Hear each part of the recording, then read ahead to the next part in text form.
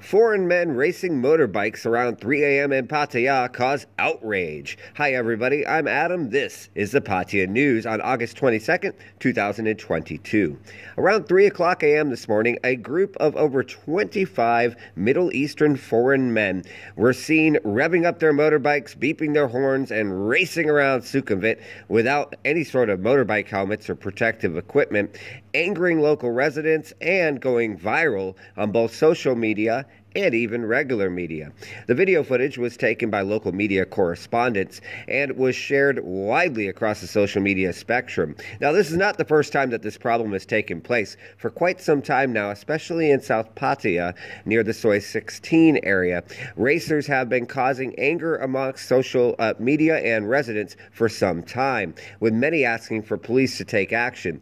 Now, there have been some recent incidents in which there have been a couple of arrests and one accident involving these individuals. In almost every single case, the gentlemen racing don't have a license, insurance, or any sort of proper information to properly own, rent, and run a motorbike in the area.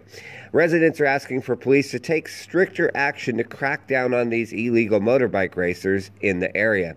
As always, we thank you for watching TPN Media. We also note that racing takes place all throughout Pattaya. And It is not just foreign racers. There's many young Thai racers too that have been a struggle for some time.